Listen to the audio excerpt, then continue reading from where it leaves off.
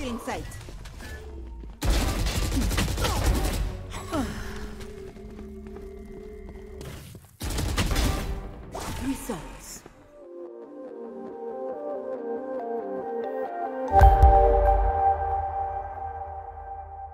Hey guys, and welcome to my channel, Time Is But A Window. As you guys know, recently I've been playing more and more Valorant. And of course, I sound like this because I recently got incredibly sick. But don't worry guys, it wasn't COVID. Now I wouldn't say Valorant is a perfect game, but as I continue to play it, I seem to enjoy it more and more. Yes, the skills and ability can seem to overwhelm gameplay, but let's be honest, in CSGO the utility can do just the same if you're playing against a good enough team. So while I wouldn't say Valorant is a perfect game, I must admit I am having a lot of fun with it, especially when we play this map. Bind. As of right now, this is my favorite map in the game. Who knows, it might even become my Dust 2 of Valorant. But as for now, I still got a long way to go on it to get to that level. Now, I just got a rank right before this game started, and I am only Platinum 2, so I still have a lot of improvement to do.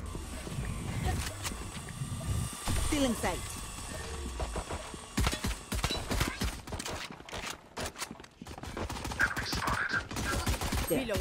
Sounds like they're coming, eh? Stealing sight.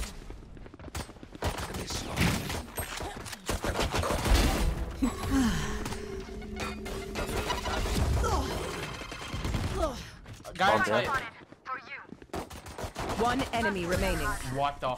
Now you'll notice I'm not talking, and that's because on the day that I played this, I had completely lost my voice. In hindsight, it's probably best not to be playing competitive games when I can't communicate with my teammates. You put a camera in hookah. Yeah, there's a few. One out, I think. Bomb down hookah. Uh, one long.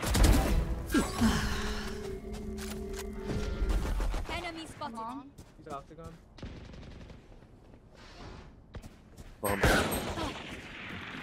One enemy remaining. Last and hookah. Please reload me right now. I'm still hungry. At some point, I really mean to take a break from Counter Strike and just try to grind this game really hard to see if I can actually get good at it. But for right now, I find it difficult to transfer from one game to the other, mainly because of how different Counter Strike Global Offensive's movement is. Still in sight.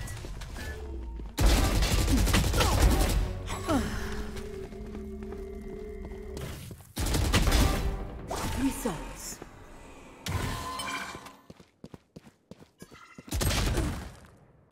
Now, I know I got too aggressive right there, but I was kind of feeling it after getting those first three kills. Thought I could just kind of run over the other team. Satchel out. One enemy remaining.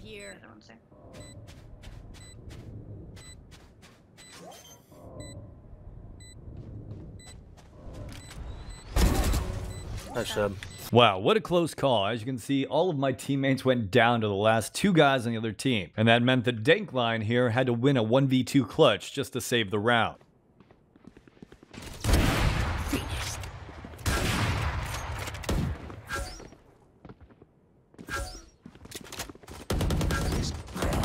Two more short. One enemy remaining. Last one short. Now, as you can see, because of the movement in this game, I'm not so worried about people jiggle peeking stuff. So because of that, I was just able to come out and shoot this guy even though he could see me right through the wall. I really think that this slower movement is going to benefit a player that relies so much on the reaction time like I do.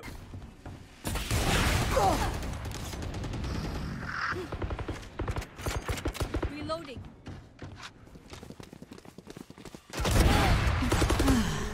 Thirty seconds left. One TP down, I think bomb.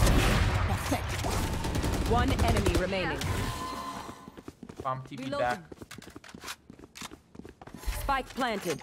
Now, right now, I'm still trying to learn when best to use the heal and when best to use the movement ability. But the embarrassing is, sometimes I accidentally use the movement ability thinking it's going to make me invisible. And I'm sure in moments like that, the other team just stares at me like I'm a dumbass.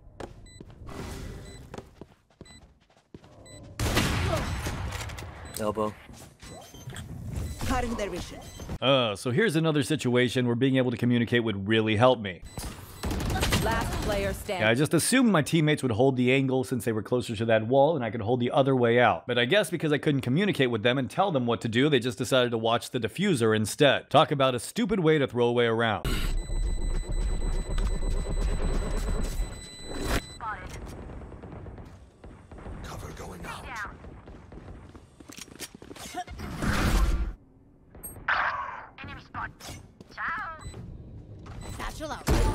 Joke's over! You're dead! One. Enemy. One enemy remaining. Last one, U-Haul. U-Haul. Please. Did you really expect that to work? Two in hookah.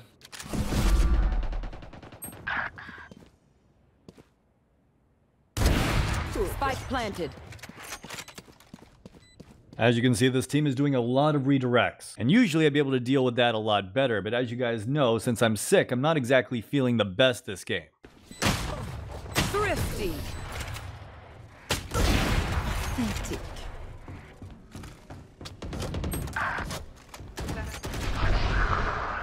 And I believe you're particularly able to see that most in the clutch situation. Since because I do have a bad heart and I'm feeling so sick, I'm really trying to keep myself as calm as possible so I don't have a heart attack. Standing.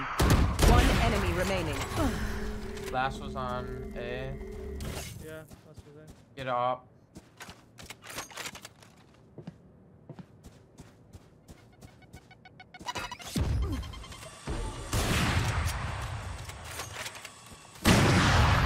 Yeah, I know, not my finest moment. But the problem is, even under this stressful of a situation, I started to get ventricular tachycardia. It was a really bad idea to play today. So I bet you're asking yourself, why the hell did I decide to play then? Well, that's because the new Valorant update just added reflex low latency mode by Nvidia. Now, as you guys know from my previous videos, I was very interested when Nvidia's ultra low latency mode came out about a year ago. But there were some major downsides to it. One of those being, unless you were completely maxing out your GPU above something like 97%, you'd actually get more latency. This means that even though you were getting the next queued frame, instead of having to have one frame queued, you would actually see what was going on a little bit later than someone that was using one framed queued. This would give you a little bit of a disadvantage and actually gave you a slight feeling that your mouse input was slightly lagging behind. For me, this was mostly noticeable when using an AWP. Now, Reflex low latency mode is supposed to have solved that problem. Basically, now in Valorant, there are three different settings. There's Reflex low latency mode on, Reflex low latency mode plus boost, and reflex low latency mode off. Now obviously off will make it feel like it felt just before, but on actually seems to be a significant improvement, or at least it felt like it because of how responsive it was just when I would fire the gun. So for example, it felt like right as I clicked the mouse, the bullet actually came out. This caught me by surprise with how quickly I saw the animation and heard the sound. Meanwhile, turning it off, I feel like it's noticeable how much longer it delays the shot, but I'm not entirely sure what's causing this, and because of the tests here that Battle Nonsense did, you can see he was testing at a 99% GPU load. Meanwhile, I'm just going off a feel because I don't have a 1000 FPS camera and light up LED when I click. If someone wants to donate one, I'd gladly do these tests in depth. But as you can see from his tests at least, it is a significant improvement when at 99% GPU load. But again, this is for a GPU bound game and not a CPU bound game like Counter-Strike Global Offensive or Valorant. Those games are really not very graphic intensive and your GPU is going to be running at a very low percentage. There is one more thing I want to talk about and that is reflex low latency mode on and reflex low latency mode plus boost. Basically, boost is supposed to get rid of any power saving features that would slow down your GPU. Now I'm told you get the same results by switching your power management mode to prefer maximum performance in your NVIDIA drivers. Alright, so back to the game. Now after back-to-back failed clutch rounds, my heart really was messing up pretty badly, so I took a little break from the game, which is why you can see it says that I'm inactive. Again, it was a pretty bad idea for me to try to play a game while I was this sick. Mainly just because of how bad my heart condition is. But not wanting to screw over everyone in the competitive game, I eventually found my way back.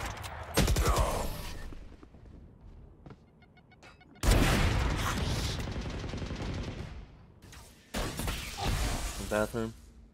One you 30 now seconds. coming. One enemy remaining.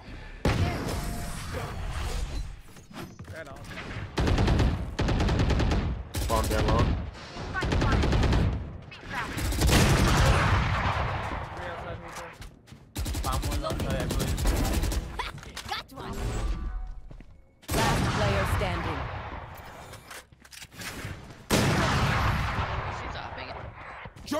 Over! You're dead! And with that, the score was all tied up 6 to 6. Now honestly, I felt like I could walk over the other team here, but the truth was I was just feeling too sick to give it my all. So instead of risking going into cardiac arrest once again, I decided I'd probably be better off just trying to back up my team for the rest of the game. I know, don't get it wrong, I realize I committed to a competitive game, but at some point my health's gotta come first. You all. Please. Oh my god. Our spike's down. 70 on site. Last player standing. Yeah, my older brother is a TikTok, like, dedicated to Fortnite stuff. 30 seconds left. One enemy remaining. Good try, Goosey. Hey, welcome. Shadows traveling. Welcome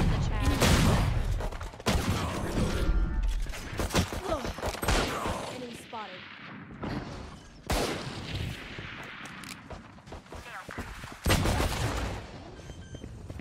Last player standing. As you can see, we are just getting absolutely annihilated now. One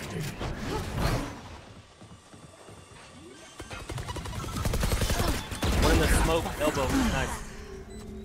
Fucking worker. One back hall. In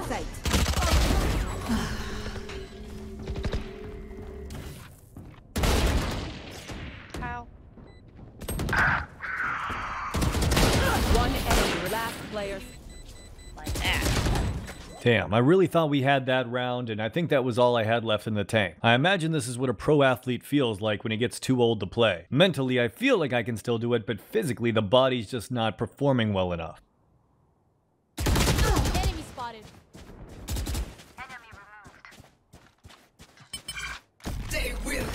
Reloading.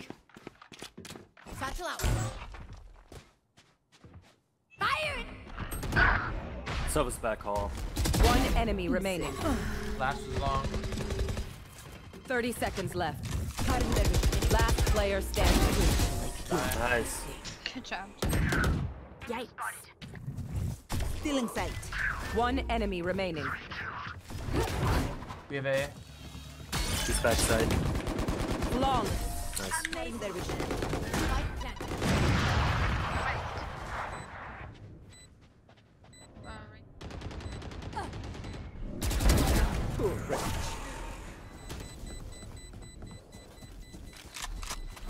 He's in there. I'm gonna save my gun. For you. Now, as you can see, we do seem to be having a lot of success over there at the B site. One Still in gun. sight. Oh my god, where is this guy at?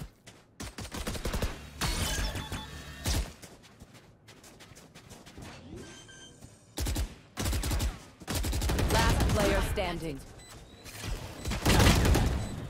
Yeah, yeah, I know what you guys are thinking. That was just really bad. Now, I'm not entirely sure why that made it so the entire team wanted to change up the game plan and start hitting that A site. In my opinion, this was a major overreaction, and we should have kept doing what was working. He has an offshore. Enemy kill.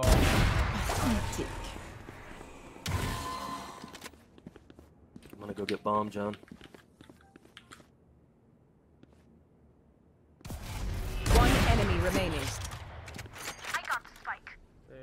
Hey, Stony. Thanks for coming. I'm gonna plant over here. Nice. Last player oh. standing. I whiffed. Cutting their vision.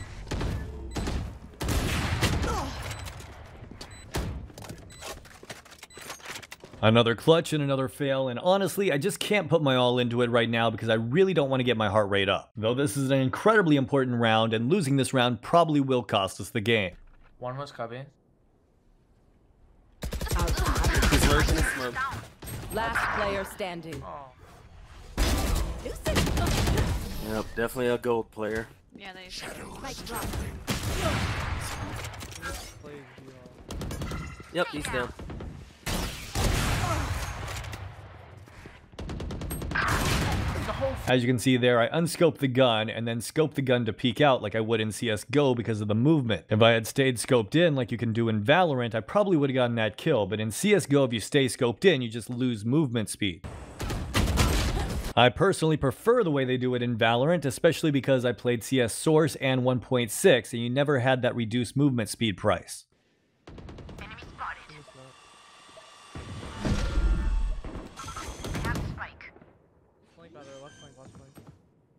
30 seconds left. Spike planted. Last player standing. Enough.